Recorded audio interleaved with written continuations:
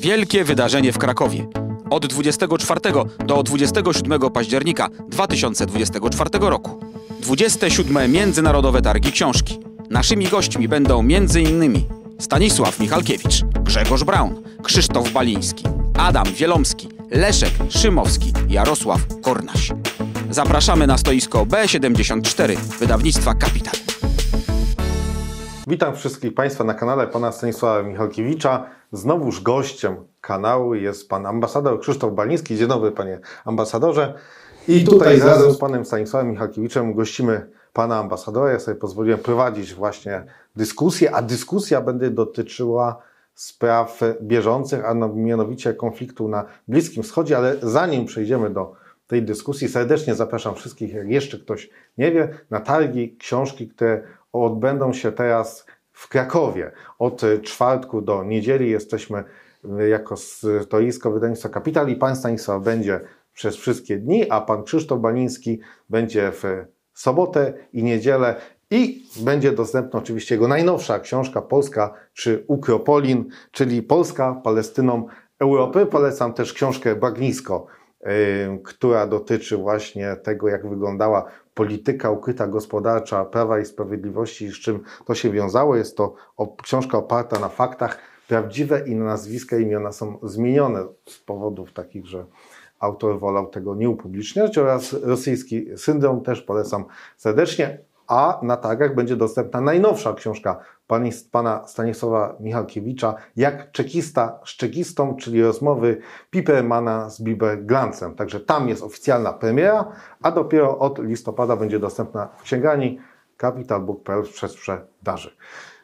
Bliski Wschód. No, doszło 1 października do kolejnego ataku ze strony Iranu. Mamy tutaj niewątpliwego agresora, gdzie w kwietniu doszło do pierwszego ataku, gdzie ta żelazna kopuła obroniła się dość skutecznie, a przy tym drugim ostrzale jednak, jak twierdzi oczywiście Iran, może podawać nieprawdziwe, nieprawdziwe dane, jednak te rakiety dostały się do celów wojskowych, zbombardowały y, lotniska między innymi Izrael oczywiście zaprzecza, że do takich sytuacji nie było, że mają szczelną, żelazną kopułę. I panie Krzysztofie, no ile jest prawdy w prawdzie? No, e, raczej w tym przypadku bardzo mało prawdy. Oczywiście rozumiem, że będziemy rozmawiać o Bliskim Wschodzie, ale tylko na tematy, które mają jakieś odniesienie do Polski, do polskich interesów, prawda, czy do polskiego interesu narodowego. Akurat tutaj ten temat Iranu e, do tego pasuje, dlatego że e, wyraźnie jesteśmy przez Izrael, my to znaczy Polska, jesteśmy wciągani do tego konfliktu. E, od e, już e, dawna, dawna Izrael próbuje to uczynić wobec Stanów Zjednoczonych. Przez różnego rodzaju prowokacje, wbrew opinii dyplomacji amerykańskiej, żeby nie prowokować Iranu, żeby nie prowokować Hezbollahu. Izrael systematycznie jednak takich prowokacji dokonuje. Czyli co ma na celu? Ma na celu wciągnięcie do tego konfliktu Stanów Zjednoczonych, Europy, a także i Polski. Mamy na to e, wiele dowodów. Oczywiście o szczegółach nie będziemy mówili, ale według mnie taka jest w tej chwili modus, taki jest w tej chwili modus operandi, operandi Iranu. Dlaczego? Dlatego, że Izrael nie ma w zwyczaju prowadzić takich wojen, poza oczywiście swoimi z państwami graniczącymi z Izraelem, siłami żołnierzy izraelskich. Mamy przypadek Iraku, kiedy w Iraku były załatwiane interesy Izraela inwazja na Irak. Inwazji na Irak dokonała armia amerykańska, oczywiście też przy udziale E, żołnierzy polskich. I tak samo i w tym przypadku wydaje się, że po prostu e, Iran chce walczyć e, z Iranem, ale nie swoimi żołnierzami, tylko żołnierzami gojowskimi. I tutaj takie zabiegi wobec Polski są już prowadzone od, od dłuższego czasu. W ubiegłym roku na terenie, co ciekawe, że akurat na terenie obozu Auschwitz, e, szef sztabu armii izraelskiej, generał Kochawi, niczym się innym nie zajmował, jak tylko wygłaszaniem antyirańskich tyrad. W obecności e, szefa sztabu e, Armii Polskiej, generała Andrzejczaka. Później ni stąd, ni zowąd generał Andrzejczak został w ubiegłym, też w ubiegłym roku zaproszony na pokład lotniskowca e, szóstej floty, który e, został prze, jakby to, jak to się nazywa fachowo, e, przeniesiony na Morze Śródziemne. Też w jakim celu? I prawda, przecież Polska nie ma żadnych interesów, a już zwłaszcza interesów jakichś obronnych na terenie morza. Krótko mówiąc, no tutaj widzę główny mm, jakby związek tej wojny y, na Bliskim Wschodzie z, y, z Polską. Ja bym dodał do tego wszystkiego, co tutaj mówił pan ambasador, jeszcze taki, no moim zdaniem, ważny incydent, właściwie nie incydent, tylko przedsięwzięcie w 2014 roku odbył się w Warszawie z inicjatywy i z udziałem y, s- pana Pompeo, ówczesnego sekretarza stanu, y, szczyt antyirański. Przedmiotem tego szczytu antyirańskiego było właśnie, co tu zrobić ze złowrogim Iranem. Ale do tych wszystkich geopolitycznych takich y, motywów dodałbym jeszcze jeden, bo moim zdaniem on też odgrywa pewną rolę tutaj, y, a właściwie nawet dwa motywy bym dodał.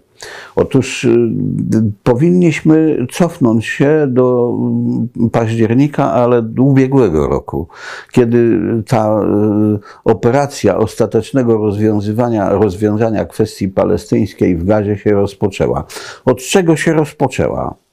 Od tego, że ze strefy gazy Hamas, Hamas wystrzelił 5 tysięcy rakiet domowej roboty w kierunku Izraela.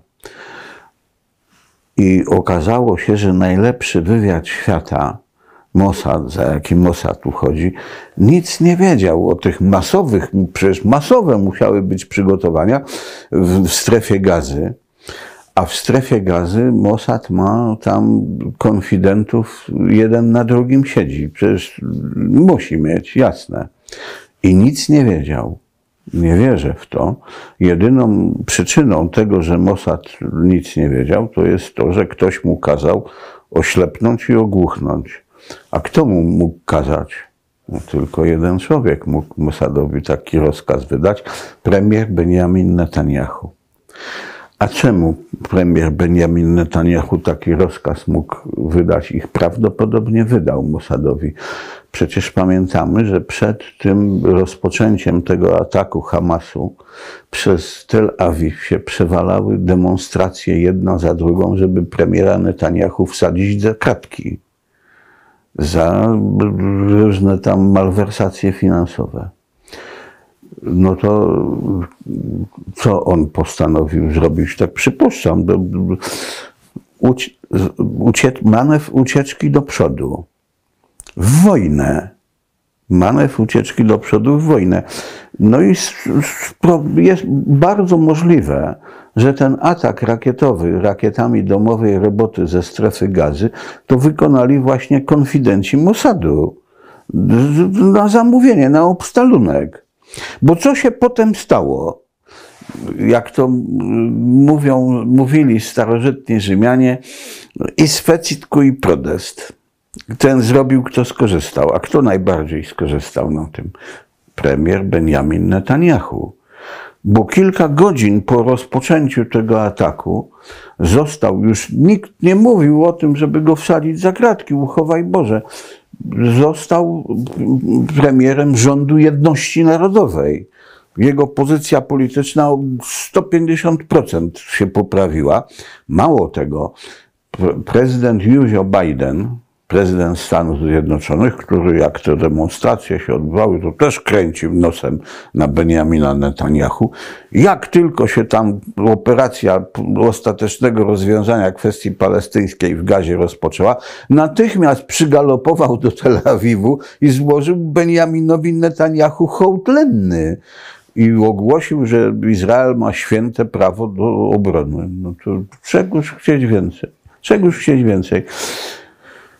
Nic dziwnego, nic dziwnego, że y, premier Netanyahu poszedł za ciosem, skoro operacja ostatecznego rozwiązania kwestii palestyńskiej w strefie gazy takie profity mu przyniosła, no to trzeba jeszcze głębiej uciekać w wojnę.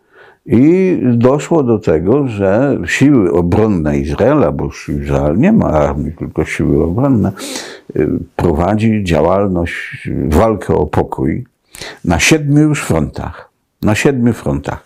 No i między innymi jeden z tych frontów to taki niby jest, ale go nie ma, jest ze złowrogim Iranem. No bo jakie fronty?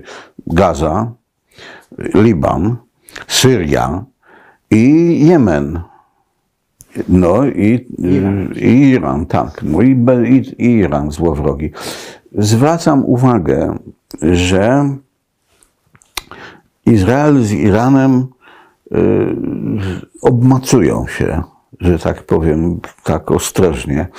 I ja tu nie zupełnie się zgadzam z, pan, z pańską oceną, panie Asoje, że niewątpliwie tu takich, na Bliskim Wschodzie to takich przymiotników nie używał, że niewątpliwie coś się dzieje, bo tutaj nic nie jest jasne, że Iran jest niewątpliwie agresorem. To trzeba przypomnieć, co poprzedziło ten irański atak. Otóż y, Izrael zabił tam tego generała, takiego ważnego, główno. Zbombardował tak, konsulat Iranu w konsulat Damaszku. Iranu w Damaszku. Też- Więc też konsulat Iranu w Damaszku, y, budynek ambasady, budynek konsulatu, to są obiekty eksterytorialne, więc to tak jakby ktoś zaatakował terytorium y, Iranu. Ale, ale Iran oczywiście wykonał ten atak rakietowy na Izrael. Tyle tylko, że cztery godziny przed rozpoczęciem tego ataku uprzedził dwa państwa arabskie o tym, że za cztery godziny ten atak nastąpi. Katar i Arabię Saudyjską. W tej samej chwili dowiedział się o tym Waszyngton. W tej samej chwili. Krótko mówiąc, y, Iran z, nie ma gorącej linii z Waszyngtonem, bo Waszyngton to jest wielki szatan, a Izrael to jest mały szatan. No to z szatanem ci ajatollahowie nie będą rozmawiali, ale za pośrednictwem Kataru czy Arabii Saudyjskiej to już mogą to już się nie strefią, jak się skontaktują z szatanem. W związku z tym Stany Zjednoczone wiedziały cztery godziny przed rozpoczęciem tego ataku, po co Iran to zrobił. No po to, żeby atak nie był skuteczny, żeby, no był tam trochę rakiet się przedarło, bo to wiadomo, że to nie można stracić prestiżu. Jakby ja ani jedna rakieta się nie przedarła, to po prostu kompromitacja. Kilka się przedarło, no ale to każdy rozumie, że nie można stracić twarzy. Więc to, ale widać wyraźnie, że ze strony Stanów Zjednoczonych i ze strony Iranu, co Izrael, to, to jest osobna sprawa, ze strony Iranu y, powściągliwość chwalebna tutaj jest zachowywana. Dlaczego? No, Stany Zjednoczone myślę, że doskonale sobie zdają sprawę, co, jakie następstwa by pociągnęła za sobą pełnoskalowa taka wojna z Iranem, z zaangażowaniem się Stanów Zjednoczonych i tak dalej. Iran no, jest państwem dosyć silnym, trzeba powiedzieć militarnie, to nie ulega wątpliwości, ale to nie o to nawet chodzi. Po co Stany Zjednoczone rozpoczęły wojnę na Ukrainie? Bo to Stany Zjednoczone namówiły, przecież Józio Biden namówił prezydenta Zeleńskiego, żeby odrzucił porozumienia mińskie. Od tego się zaczęła pełnoskalowa wojna, bo przedtem to takie były tam przepychanki. Pan sekretarz obrony Lloyd Austin podczas pielgrzymki do Kijowa wyjaśnił, w jakim celu ta wojna na Ukrainie się toczy. Nie o żadne ukraińskie interesy, tylko celem jest osłabienie Rosji. A po co Stanom Zjednoczonym osłabiać Rosję? Po to, żeby się prezydent Stanów Zjednoczonych i Pentagon nie denerwowali jak w momen, w, kiedy w momencie, jak przystąpią do ostatecznego rozwiązywania kwestii chińskiej, żeby się nie denerwowali, co Rosja zrobi w tej sytuacji, albo ile Rosja zażąda za chwalebną neutralność. Więc najlepiej jest osłabić Rosję, żeby się nie denerwować, ale Chińczycy też y, nie są w ciemię bici i Chińczycy wiedzą o co chodzi. W związku z tym, próbują e, doprowadzić Stany Zjednoczone do tak zwanego rozdęcia imperialnego. Stany Zjednoczone są militarnie bardzo silnym państwem.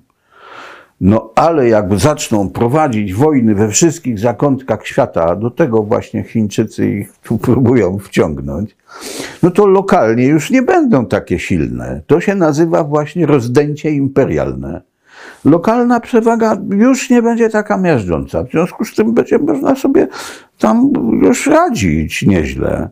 I taka jest strategia chińska. Trzymać się na, na boku, ale wciągać Stany Zjednoczone. Stany Zjednoczone myślę, że się domyślają, no to wiedzą, to coś tam muszą wiedzieć, CIA coś musi wiedzieć.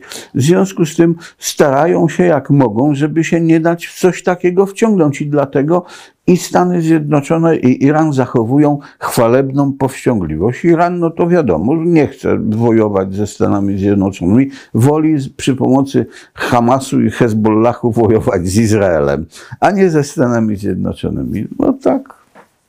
Też y, wracając jeszcze do tego, że y, Izrael nie ma w zwyczaju y, walczyć ze swoimi wrogami swoimi siłami, tylko raczej lubi się posiłkować E, prawda, żołnierzami z innych krajów, e, to e, też to ma chyba też związek z tym, że jednak okazało się już, już to w tym starciu rakietowym z Iranem, już to podczas także poprzednich starć z niektórymi siłami tam na Bliskim Wschodzie, że armia izraelska wcale nie jest taka niezwyciężona, jak to propagandowo przedstawia się i jej sojusznicy tutaj w Europie przedstawiają. To samo dotyczy Mossadu.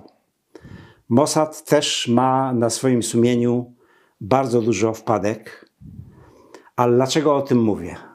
E, tak samo, e, e, co, co się tyczy tych rakiet irańskich. Okazało się, że żelazna kopuła nie wiem dlaczego w Polsce tłumaczymy to na żelazną kopułę, kiedy Izraelczycy nazywają to żelazną mycką. W każdym razie żelazna mycka wcale nie jest taka e, e, żelazna, że jest dziurawa jak durszlak. Bo zarówno ze strony Hamasu, jak i teraz ze strony Hezbollahu, a wcześniej ze strony Iranu, jednak jakieś rakiety na terenie e, Izraela e, lądują. Przez wczoraj miało, miało wydarzenie, e, doszło do wydarzenia no, wprost spektakularnego.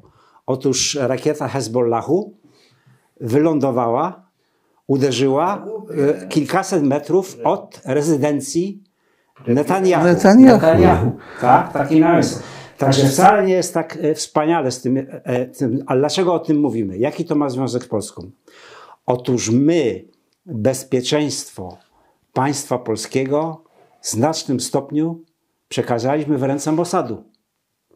Bo Mossad, na przykład y, bezpieczeństwo polskiej sieci energetycznej, nie jest to już tajemnicą, zabezpiecza Mossad.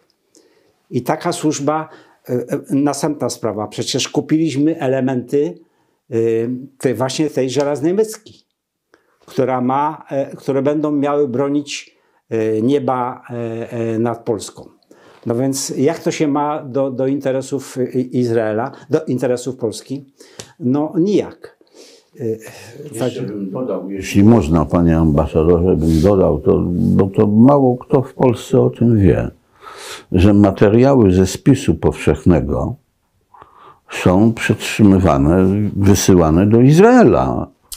Znaczy y, z Polski do Unii Europejskiej, Tak, a Unia Europejska do- przekazuje to Izraelowi. Przechowuje to wszystko na serwerach Izraela. Tak. W związku z tym Polska jest dla y, Mossadu całkowicie transparentna, na wylot. Na wylot. A my nie mamy wpływu na to i nie będziemy mieli wpływu na to, z kim, z jakim wywiadem Mossad współpracuje. A co my zrobimy, jak na przykład Mossad niektóre informacje w ramach dobrych usług i tam y, tego przekaże na przykład złowrogiemu Putinowi? A kto mu zabroni? Przecież nie prezydent Józio Biden.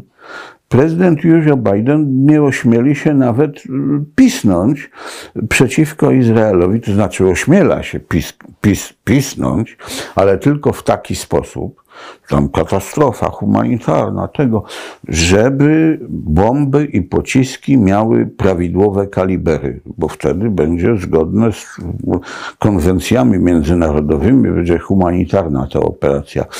Nic więcej. Gdyby coś więcej jeszcze pisnął, to zaraz jakieś dziecko by sobie przypomniało w Ameryce, że prezydent Józio Biden 40 lat temu wsadził mu rękę pod spódniczkę i tam gmyrał w majteczkach. Zanim by się okazało, że to nieprawda, no to katastrofa, wie pan. I dla Kamali Harris byłaby katastrofa. Tutaj też, też tak chciałem dorzucić, że e, e, w, siłach specjalnych Izraela, a może w służbach specjalnych Izraela pracuje bardzo dużo emigrantów ze Związku Radzieckiego i później z Rosji. W ogóle na terenie Izraela mieszka w tej chwili półtora miliona Żydów, nieżydów z terenu Związku Radzieckiego. Noblista W tym udział. no, izraelski noblista Amos miał takie, nie wiem, w jakimś tam kontekście powiedział, że w Mossadzie i w, wojs- w tych wojskowych e, służbach specjalnych AMON pracuje 40 tysięcy kagiebistów, byłych kagiebistów. No więc proszę, ja- jaka jest szczelność e, e, prawda, tych służb? Mało tego, w przeszłości, ale także niedawno, bo w ubiegłym miesiącu, mieliśmy do czynienia z czymś takim, rzeczą niewyobrażalną, że, że Chińczy, Izraelczycy sprzedali e, jakieś oporządzenie, jakiś sprzęt amerykański, ściśle tajny, Chińczykom dostarczyli.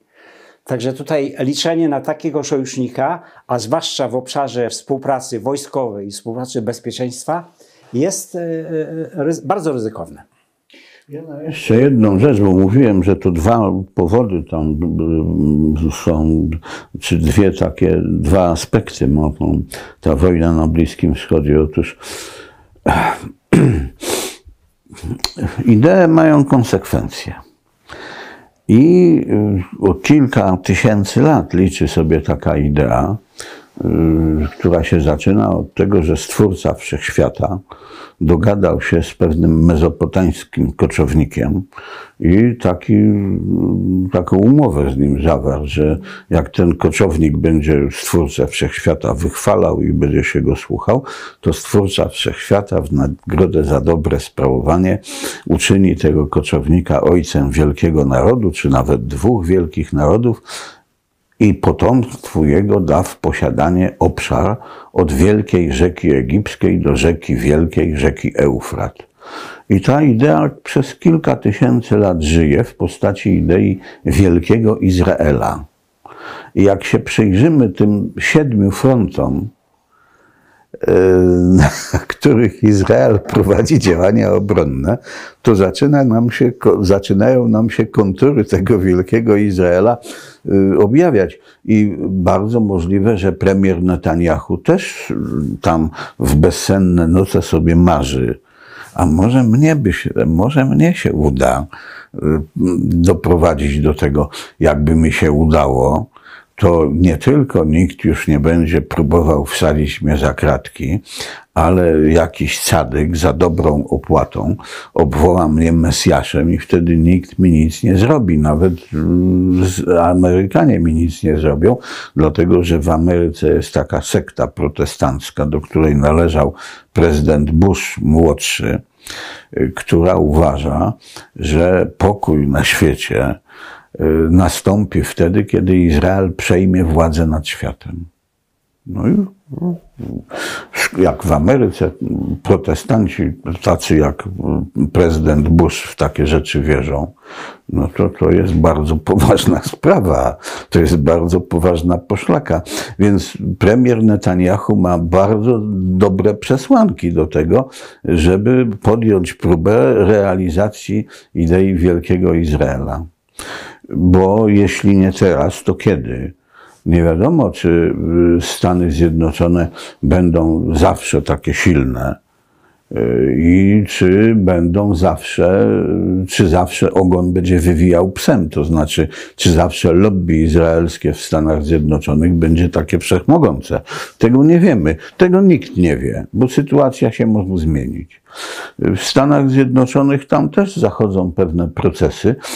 No i jak my z daleka się przyglądamy, widzimy, że ogon wywija psem, to w Ameryce też ludzie to widzą. Też ludzie to widzą. Więc może się nagle. Więc to jest. Trzeba korzystać z, z właściwego momentu dziejowego i pewne wielkie idee, idee realizować, bo potem się może już nie udać.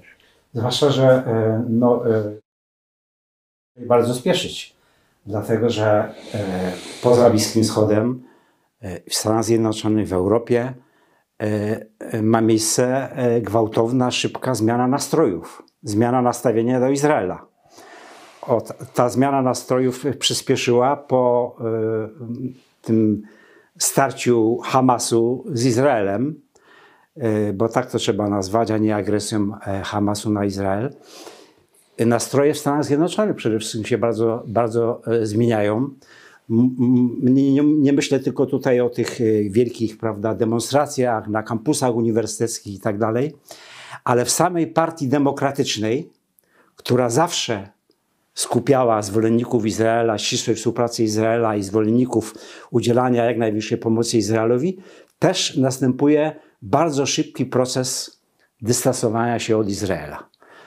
Pani Kamala Harris na konwencji Partii Demokratycznej bardzo gęsto musiała się tłumaczyć z podejścia administracji amerykańskiej do Izraela.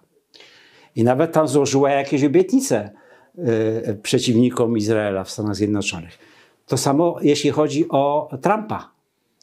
Y, na konwencji Partii Republikańskiej odezwały się bardzo silne, znaczące głosy, które mówiły o tym, że pomoc dla Izraela musi być e, ograniczona, a w każdym bądź razie musi być wliczona nie do jakichś specjalnych kategorii księgowej, tylko do e, pomocy, którą Stany Zjednoczone udzielają e, w ogóle na świecie. I, I dlatego też, prawda, tutaj oskarżanie o to Trumpa, że on jest bardzo proizraelski, że jest agentem Izraela i tak dalej, nie jest prawdziwe według mnie, że po prostu Trump e, e, ma oświadczenia, wypowiedzi proizraelskie, że Trump e, opowiada się przeciwko Iranowi, ale dlaczego? Dlatego, że tak jak powiedział pan właśnie pan redaktor Michalkiewicz, że główną bazą wyborczą Trumpa są właśnie protestanci. Ewangelicy szczególnie. I dlatego Trump, e, zabiegając o głosy tych ewangelistów, musi mieć takie antyirańskie oświadczenia. Natomiast jestem przekonany, że gdy dojdzie do władzy, to na pewno nie dopuści do tego, żeby Izrael się mm, przy pomocy wojsk amerykańskich rozprawił z ajatollahami. Bo nie jest to w interesie e, Stanów Zjednoczonych. Jeszcze jedna sprawa. Gdy Trump był przy władzy, to Stany Zjednoczone nie rozpoczęły żadnej wojny na świecie. W przeciwieństwie do poprzednich administracji. Żadnej wojny nie rozpoczęły, a wprost przeciwnie, Trump zaczął się wycofywać z Bliskiego Wschodu. To on przecież przystąpił do wycofania wojsk amerykańskich z Afganistanu. Później całą operację sknocił Biden, prawda, bo zrobił to w sposób, e, to była wielka fuszerka. I także Trump e, przystąpił do wycofywania się wojsk e, Stanów Zjednoczonych z Iraku. Nawiasem mówiąc, podczas kampanii wyborczej 4 lata temu, 8 lat temu, Trump bardzo skrytykował inwazję iracką wojsk amerykańskich na Irak. Bardzo duża część wystąpień tych właśnie w kampanii wyborczej odnosiła się do Iraku. Że, że Stany Zjednoczone wydały 4 biliony dolarów i straciły 4 tysiące żołnierzy amerykańskich tylko po to, żeby odsunąć od władzy jednego człowieka. Oczywiście chodzi o Saddama Husseina. A równocześnie Stany Zjednoczone nie mają jednego biliona dolarów na to, żeby e, odbudować tą zmuszałą, sypiącą się infrastrukturę w Stanach Zjednoczonych. Chodziło o autostrady, chodziło o, o lotniska, chodziło i tak dalej. Także tutaj jeszcze taki też aspekt sprawy trzeba mieć na uwadze. Jeśli już mówimy o Donaldzie Trumpie, y, to warto zwrócić uwagę, że on wprawdzie się podlizywał lobby żydowskiemu, jak tylko mógł, ale w sferze symboli raczej niż w sferze realnych takich tych. Bo co on zrobił na przykład? Przeniósł ambasadę z Tel Awiwu do Jerozolimy wbrew oficjalnemu stanowisku amerykańskiemu nawet, które polega na tym, że Jerozol- polegało na tym, że Jerozolima ma być, mieć status międzynarodowy. Więc nie izraelski, tylko międzynarodowy. No przeniósł. Dobra. Y, ale w tej kampanii wyborczej, no widocznie musiał być zirytowany, dlatego że powiedział, że, że z pewnym zdziwieniem i rozgoryczeniem, że Żydzi w dużej masie występują przeciwko niemu. Zauważył to. Zauważył to. To może mieć konsekwencje. Jeszcze jedna taka uwaga. Otóż y, te protesty, jakie były na kampusach, ja bym ich tak nie lekceważył, dlatego że y, przypomnę, jakie były protesty, zaczęły się protesty też studenckie przeciwko wojnie w Wietnamie. I te protesty sprawiły, że Richard Nixon y, wygrał wybory tylko dlatego, że obiecał, że tę wojnę zakończy. Tylko dlatego, bo żadnego innego powodu nie było. No i zakończył rzeczywiście. I, bo jeżeli protestują studenci przeciwko czemuś, a te protesty miały charakter masowy, no to studenci skończą studia i to będzie średnia klasa amerykańska, która będzie wyznaczała, że tak powiem, y, polityczne idee i ona będzie je formułowała, realizowała i tak dalej. Tego w perspektywie dalszej nie można lekceważyć. I jeszcze jedna rzecz, pan ambasador użył tutaj e, takiego sformułowania specjalna kategoria księgowa to mogą tutaj y, widzowie nie rozumieć o co chodzi. To też wyjaśnię. Otóż ta specjalna kategoria księgowa, co ujawnili y, autorzy y, takiego dzieła monumentalnego Lobby Izraelskie w USA, dwaj amerykańscy politologowie, jeden generał, drugi profesor, że Izrael jest jedynym państwem na świecie, które nie musi się rozliczać z pomocy amerykańskiej. Dostaje stałą kroplówkę taką y, finansową i nie musi się rozliczać, co z tym, z tym zrobi. Inne państwa muszą, a Izrael nie. I co Izrael robi? Oni to ujawnili. Natychmiast pożycza rządowi amerykańskiemu te pieniądze na wysoki procent. To, to jest ta specjalna kategoria księgowa, o której mówił pan ambasador. Izrael ma specjalny Więc trzeba sobie, amerykańscy wyborcy to słyszą, no to wy, wyobrażam sobie, jak się pienią, jak coś takiego słyszą. Mamy, mamy sytuację dosłownie sprzed, sprzed kilku tygodni, kiedy właśnie e, Izrael, e, Netanyahu ogłaszając, że przecież y, e, broni przed Hamasem, nie broni tylko Izraela, a broni przecież cały cywilizowany świat, natychmiast Kongres Stanów Zjednoczonych zatwierdził specjalną pomoc, ekstra pomoc dla Izraela w wysokości ponad 17 miliardów dolarów, prawda? Także mamy więcej. ale jeszcze ja chciałem tutaj taką, taką, e, taką jedną rzecz, taki troszeczkę e, e, e, osobisty element. Niedawno udało mi się zamieścić e, e, e, w internecie e, taki mój artykuł, taki tekst krótki, e, e, w którym e, e, e, chciałem udowodnić, e, e, wydaje mi się, że udowodniłem, że jednak nasza sympatia e, w, w, w wyborach amerykańskich powinna leżeć po stronie e, Trumpa, a nie po stronie Harris. I tam przytoczyłem oczywiście różnego rodzaju argumenty, że e, właśnie wybór Trumpa e, na prezydenta Stanów Zjednoczonych leży w interesie Stanów Zjedno- e, Polski.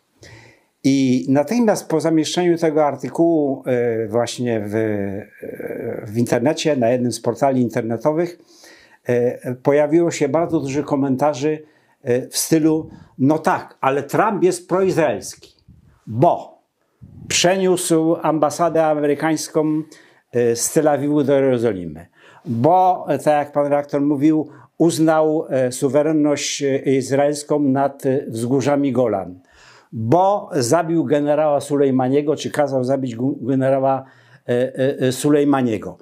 I jeszcze tam, prawda, kilka takich. e, e, ustawę 437. no, te, tego nie powiedzieli akurat.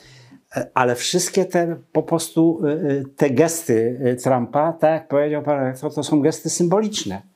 Bo one do, do, do sprawy, do stosunków sił na Bliskim Wschodzie nie wniosły niczego nowego. Dlatego, że Izrael dawno ogłosił, była decyzja Knesetu o aneksji wzgórz Golan, że, że Izrael od zawsze e, e, ma swoją siedzibę, nie od zawsze, ale od, wielu, wielu już lat, od 67 roku ubiegłego wieku ma stoli, stolicę w Izraelu, e, w Jerozolimie i tak dalej, i tak dalej. Ale co najbardziej uderzyło w, tej, w tych wszystkich w tych komentarzach, to, że te zarzuty wobec Trumpa nie mają się nijak do interesów Polski. No nijak się nie mają do interesu Polski. Nikt, nikt, nikt, się, nikt, się, nikt na przykład nie, nie, nie poruszył tematu, a jak się, że na przykład e, Trump e, w obecnej kampanii e, wyborczej obiecuje i, i nawet przedstawił plan pokojowy zakończenia wojny na Ukrainie. Prawda? Przecież to jest w interesie Polski najbardziej, żeby doszło wreszcie do tego, bo, bo, bo ta wojna przecież prowadzi do, do de- degradacji po, po, po, po m, pozycji Polski. Ta wojna doprowadziła, doprowadziła już do e, e, e, degradacji finansów publicznych Polski. Bo przecież na tą wojnę żeśmy się zadłużyli bardzo dużo, przekazaliśmy bardzo dużo pomocy dla Ukrainy. Za darmo, za darmo, prawda? I tak dalej. Którą się w tej chwili oblicza na przecież ponad 140 miliardów złotych. Przecież to są olbrzymie kwoty. Deficyt budżetowy, ja Skąd jest ten deficyt budżetowy? tylko wspomnę, oficjalny deficyt budżetowy w tej, w tej chwili wynosi ponad 300 miliardów złotych, ale trzeba dodać do tego 100 miliardów jeszcze, bo tyle ma deficyt w, w funduszach pozabudżetowych. Tyle rząd będzie musiał pożyczyć, żeby funkcjonowały te fundusze pozabudżetowe, które są. Y, Jeśli już o Trumpie mówimy, to jeszcze, żebyś nie padło tu podejrzenie, że y, omijamy jakiś taki wstydliwy zakątek. Ustawa 447. Trump rzeczywiście ją podpisał, ale, ale może by jej nie podpisał, gdyby polskie władze zachowały się tutaj y, stanowczo i wsparły lobbying polonijny, który był w Stanach Zjednoczonych, o tym doskonale wiem, bo maczałem w tym palce, y, a tymczasem polskie władze zachowały się nawet nie tak, że jakby ich to nic nie obchodziło, y, tylko próbowały torpedować ten rozpaczliwy lobbying, jaki prowadziły środowiska polonijne w Stanach Zjednoczonych. I to też wiem, że, bo brałem w tym udział.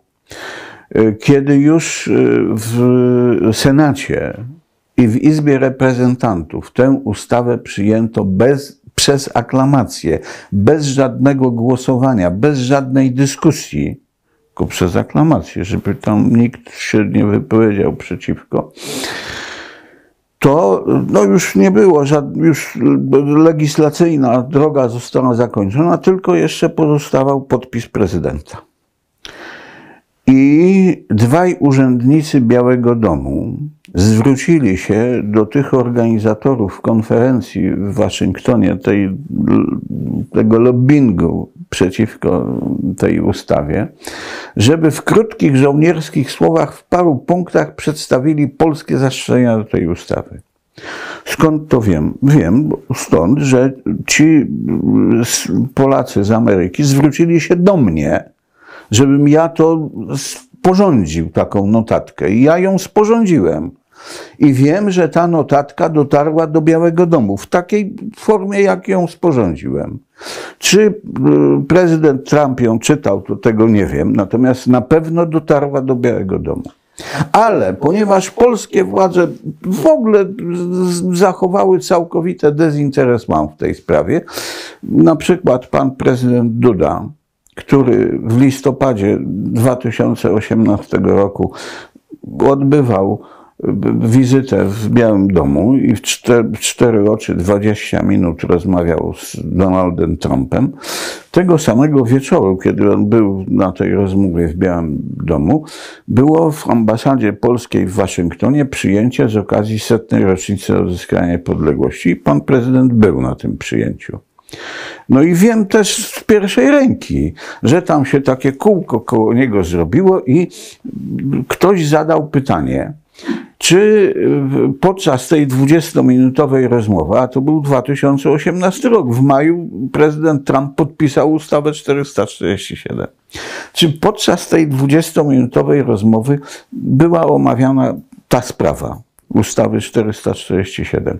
Prezydent Duda powiedział, że nie. No to już zapytano go, dlaczego nie, bo to opinia w Ameryce była wstrząśnięta tym.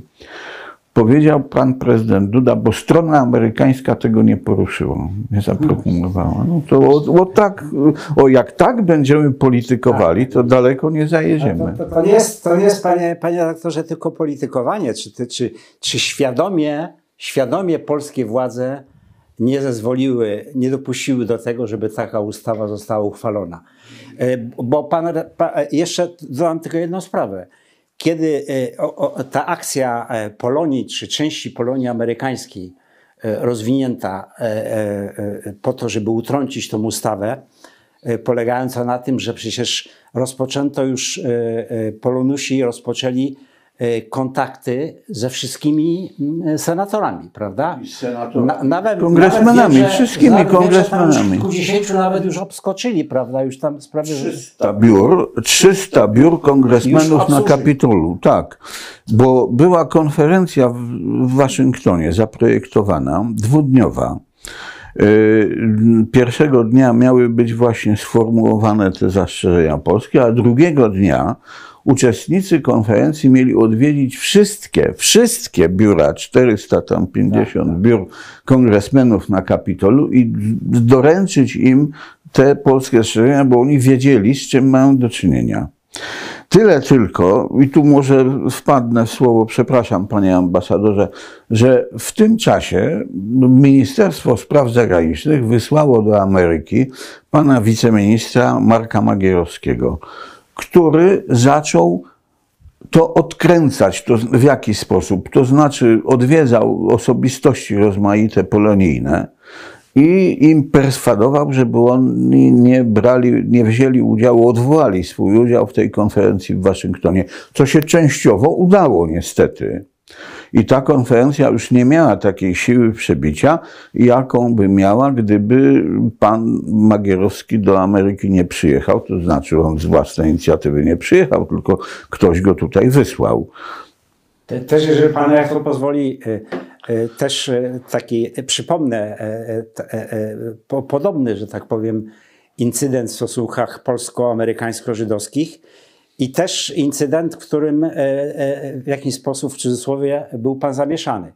Otóż, e, gdy jest taka, w Polsce obowiązuje taka narracja, że gdy uchwalono w polskim Sejmie ustawę o IPN.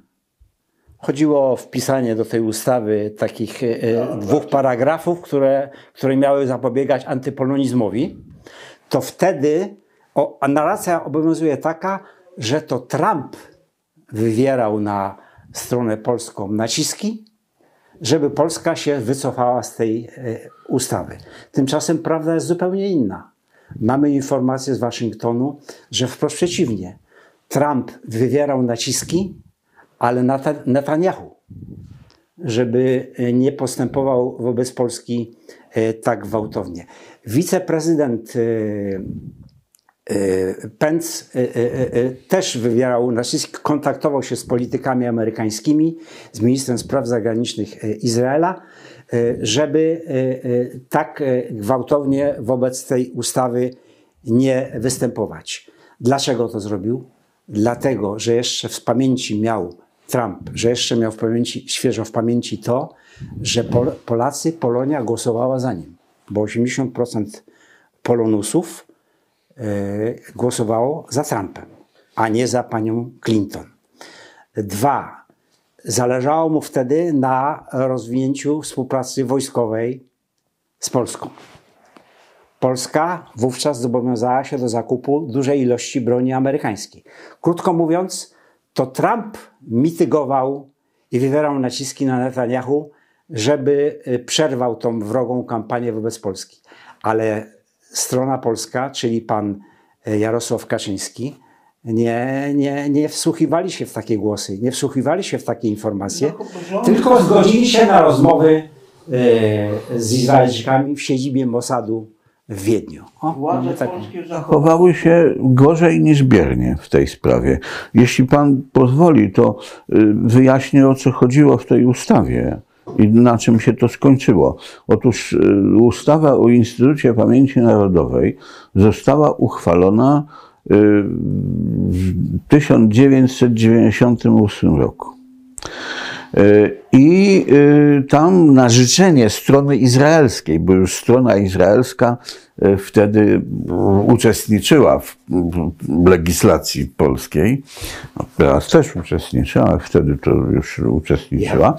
Na życzenie strony izraelskiej został tam umieszczony w tej ustawie o Instytucie Pamięci Narodowej artykuł 55 dotyczący tak zwanego kłamstwa oświęcimskiego, to znaczy przewidujący penalizację każdej publicznej wypowiedzi, która nie y, odbiega od zatwierdzonego, że tak powiem, tutaj y, szablonu. No i to, to, kłamstwo oświęcimskie zostało wpisane, okej. Kiedy się rozpoczęły takie wypowiedzi o polskich obozach zagłady w ramach, że tak powiem, upokarzania Polski na arenie międzynarodowej, no to polski rząd wpadł na pomysł, że może użyć podobnego narzędzia, żeby tu przyhamować te ataki na Polskę. I nowelizacja ustawy o IPN-ie w 2018 roku polegała na dopisaniu do tego artykułu 55 artykułu 55a który przewidywał penalizację tak zwanego kłamstwa obozowego, to znaczy wypowiedzi, że polskie obozy zagłady i tak dalej, i tak dalej. Klangor się podniósł w Izraelu, a Izrael krzyknął Gewalt, Najpierw oczywiście Judenrat Gazety Wyborczej krzyknął Gewalt, potem Izrael krzyknął Gewalt, no i Żydzi w Ameryce krzyknęli Gewalt. I wtedy, ja nie wiem, jakie tam były wewnętrzne, że tak powiem, przepychanki w amerykańskiej administracji, ale skończyło się na tym, i to widać, że tu te naciski na premiera Netanyahu nie były, na stronę izraelską nie były skuteczne ze strony Donalda Trumpa. Skończyło się na tym, że Departament Stanu ostrzegł Polskę, ostrzegł, że jeżeli nie unieważni tej nowelizacji, to zagrozi swoim interesom strategicznym. Taka była formuła. Polska zagrozi swoim interesom strategicznym. No i na takie diktum to rząd z podwiniętym ogonem y, uchylił tą nowelizację. Tak, bo rano rozpoczęli zmianę, a po południu już było zmienione. To, jak żeby wszystkie ustawy tak ekspresowo zmieniano, Tak, czy więc to- uchwalano. To, żeby dla potomności, żebyśmy wiedzieli, o co wtedy chodziło. Ja bym jeszcze wrócił do Izraela jako ostatni e, wątek naszej dyskusji, a mianowicie mm, 2 października tego roku sekretarz generalny ONZ nie, sto, nie został wpuszczony do Izraela. Został uznany za personą grata. Został uznany za persona non grata, ponieważ y, no nie, nie zapobiegł krytyce Izraela na forum Zgromadzenia y, Ogólnego ONZ-u. No nie to stanął, że tak powiem, bezapelacyjnie po stronie Izraela No w tak. kwestii związanej właśnie został ukarany. właśnie tak. z tą wojną, która trwa y, w Palestynie. I ja bym tutaj y, poruszył kwestie związane ze sposobem prowadzenia wojny, a mianowicie y, w Palestynie mamy do czynienia, to się nazywa, jest taki sposób y, prowadzenia działań, to, jest, on to się nazywa Dahia, gdzie na przykład taki izraelski polityk Benny Gantz się bardzo chwalił tym, że jak mamy teren, gdzie jest e, prawdopodobieństwo, że ukrywają się terroryści, a jest tam przechowywana broń, to po prostu niszczymy ten teren, tą dzielnicę do spodu, po prostu do spodu. Bardzo stara doktryna. No właśnie, bo pan To jest bardzo stara doktryna. Skąd się to wzięło? No to tak właśnie postępował Jorgen Strop, który dowodził tłumieniem powstania w getcie warszawskim. Jorgen Strop y, nie bawił się, znaczy bawił się najpierw, ale potem już się przestał bawić tam y, zdobywanie dom po domu, bo to tam y, głupiego robota, tylko kazał palić całe kwartały budynków, w których ukrywali się Żydowie. Tak jak w strefie gazy Hamas, Hamasowcy się ukrywają. No i tam też bombardują całe kwartały i tam ginie każdy, kto tam się szpęda niepotrzebnie. No a po co się szpędają? Zamiast uciec, tylko inna rzecz, że nie mają dokąd uciec z tej strefy gazy, bo Egipt zamknął granicę. No i a, to, a dalej to już Morze Śródziemne tylko jest. W ogóle przecież e, strefa gazy e, to przecież nie jest moje nazewnictwo, tylko od dawna jest nazywana. e, Izraelczycy tak zrobili, że to jest praktycznie getto. Dlatego, że jest ściśle odgrodzone od terytoriów, e, no od granicy lądowej z Izraelem, że, Izra- że mieszkańcy Gazy nie mają dostępu nawet do morza, bo jeżeli chcą wypływać jakimiś tam swoimi łódkami, żeby ło- łowić ryby, to muszą mieć na to pozwolenie Izraela. Że wszelkie dostawy wszelkich towarów są przez Izrael kontrolowane, krótko mówiąc, getto, na terenie którego przebywa e, około dwóch e, e, milionów mieszkańców.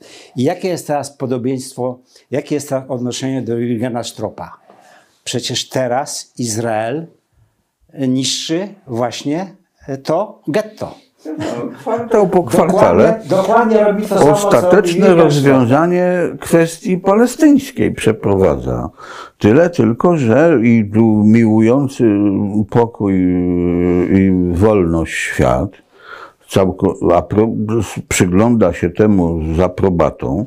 Jedno zastrzeżenie tylko formułuję pod adresem Izraela, żeby bomby i te pociski miały prawidłowe kalibry jak będą miały prawidłowe kalibery, to wszystko będzie ok. No, to jest ta różnica. W przypadku Jorgena Stropa nikt mu takiego warunku nie stawiał Izraelowi, a Izrael na to przystaje, dlatego że kontroluje prasę międzynarodową, w związku z tym prasa międzynarodowa napisze to, co trzeba i powoła świadków.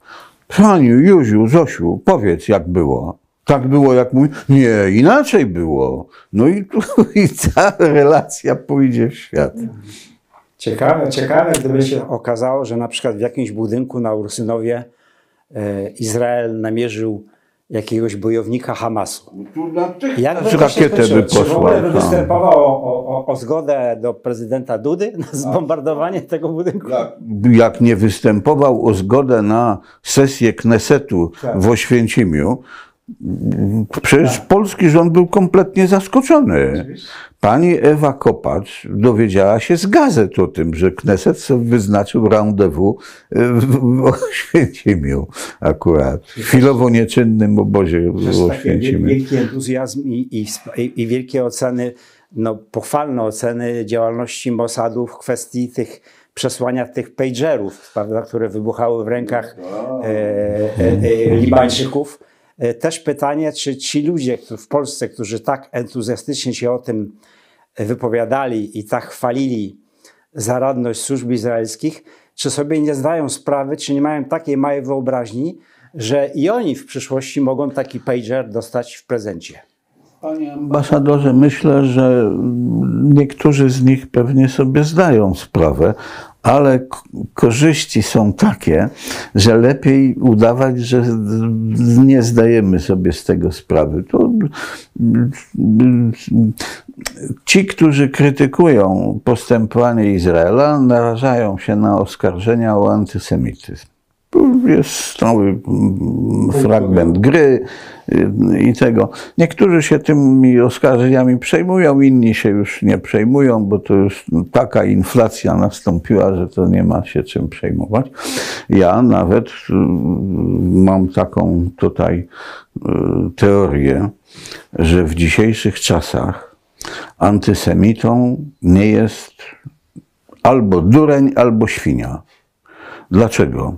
Dlatego, że kto decyduje o tym, co jest antysemityzmem? Liga Antydefamacyjna w Nowym Jorku. I Liga Antydefamacyjna uznała za antysemickie opinie następujące, że środowiska żydowskie mają y, duże wpływy w Ameryce w sektorze finansowym, w mediach i w przemyśle rozrywkowym. No każdy, kto Amerykę trochę, trochę chociaż zna, to wie, że to prawda. To wie, że to prawda. Co z tego wynika?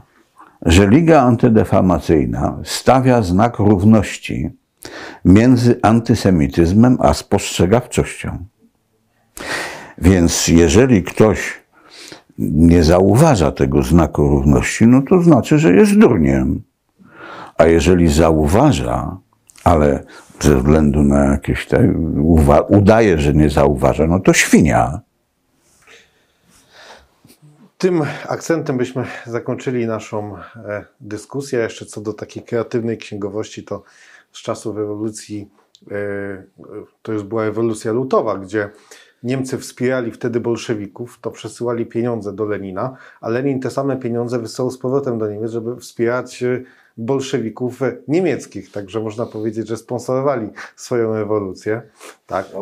No tak, aż Tak. Nie wierzę. Nie, oczywiście. Nie wierzę. Oczywiście, żeby tam wybuchła rewolucja. Lenin może by odsyłał, chociaż Lenin też nie, ale Trocki to na pewno by nie odesłał. No, Trocki przywiózł te inne pieniądze, tylko że, że, że Ameryki, wtedy, wtedy z Ameryki. Ale wtedy jeszcze była ta wizja stworzenia wielkiej rewolucji europejskiej, a co do informowania polityków, no to premier y, z, y, chyba z Kierskiej, z jak, jak doszło do wyprawy kijowskiej, to też dowiedział się z, tam już post factum, że Piłsudski e, poszedł na Kijów i tylko grzecznie poszedł wtedy do Piłsudskiego i powiedział, że jakby coś robił, to żeby mu wcześniej powiedzieć. Także Takie sytuacje w naszej historii też się zdarzały wcześniej. Szanowni Państwo, 24-27 października targi książki w Krakowie. Zapraszamy do stoiska wydawnictwa Kapital. Od czwartku do niedzieli jest Pan Stanisław Michalkiewicz. Sobota, niedziela jest też Pan Krzysztof Baliński, także serdecznie Państwa zapra- zapraszam. No i do zobaczenia. Tam właśnie będzie dostępna najnowsza książka Pana Stanisława Michalkiewicza, jak czekista z czekistą, czyli rozmowy Pipermana z Bieber Glancem oraz e, nowość Pana Krzysztofa Balińskiego Polska czy Ukropolin. Będzie można z naszymi autorami oczywiście porozmawiać. Też zachęcam do wspierania kanału poprzez Coffee. Pozwala to nam na rozwój systematyczny, żebyśmy nie dali się właśnie cenzurze. Dziękuję Panom, dziękuję Państwu.